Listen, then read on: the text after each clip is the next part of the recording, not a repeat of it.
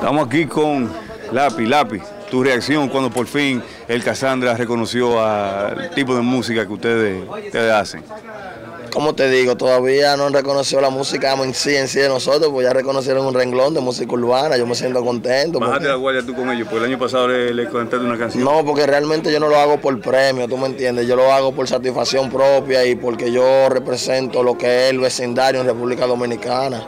La mayor satisfacción para mí es saber que yo gozo del respeto de cada uno de los, de los jóvenes en los barrios.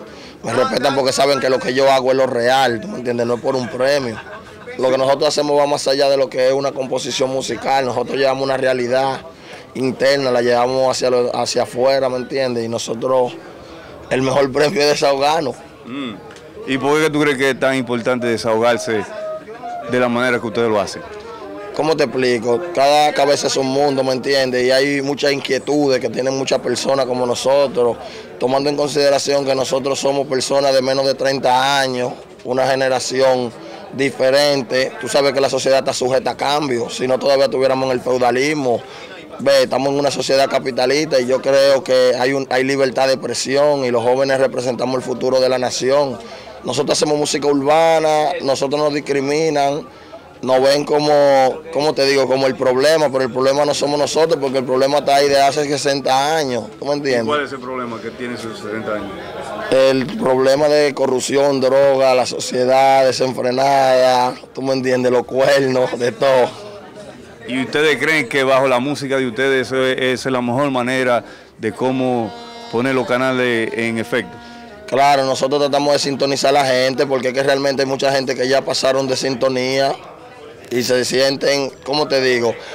Tú sabes que el temor a caducar es lo que hace que los hombres se pongan celosos con lo que tienen, ¿me entiendes? Nadie está preparado para el relevo y menos para el relevo generacional. Nosotros nos discriminan, a nosotros nos asocian con drogas, a nosotros nos asocian con delincuencia. Tenemos que ser conscientes que tres de los merengueros de ustedes no pudieron viajar porque no le dieron papeles. Obviamente no estaban, no le dieron los papeles porque es- salían de la iglesia. Tu No, reacción de eso. Eso es problema de los merengueros.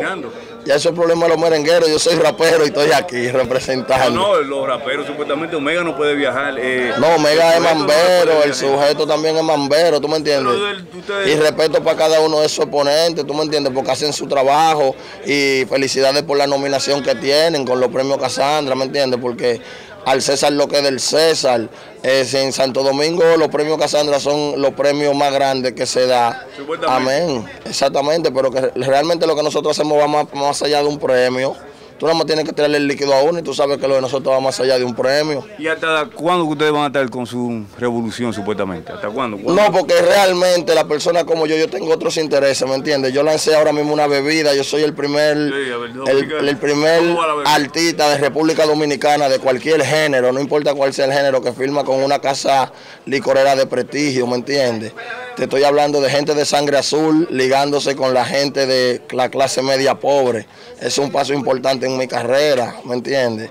Y yo creo que ya nosotros no podemos tener, no pueden tomar mucho prejuicio contra nosotros, porque incluso en la campaña presidencial de la primera persona buscaron a lápiz consciente para eso, ¿me entiendes? Porque yo represento los jóvenes a todos los niveles de los estratos sociales la dentro de la sociedad.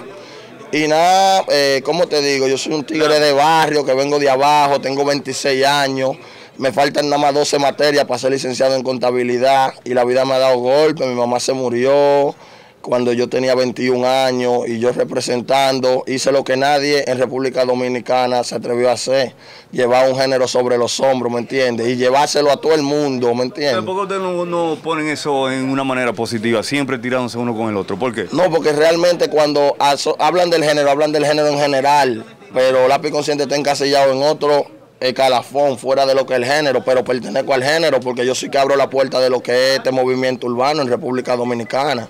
Por fin, ¿por qué el nombre lápiz? amigo? El lápiz fue mi abuela porque yo la corregía mucho, tú sabes, escribía bichuela sin H, huevos sin H, tú sabes, de todo azúcar con S. Digo, eso no es así, abuela.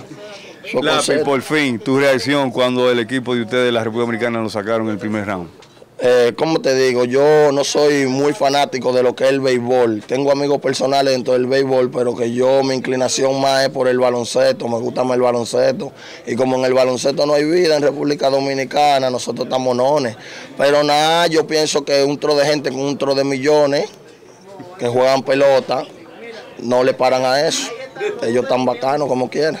Lápiz, gracias por tu tiempo y cortesía. Heavy. Por favor, suscríbete a nuestro canal de YouTube Las 5 Esquinas de Nueva York.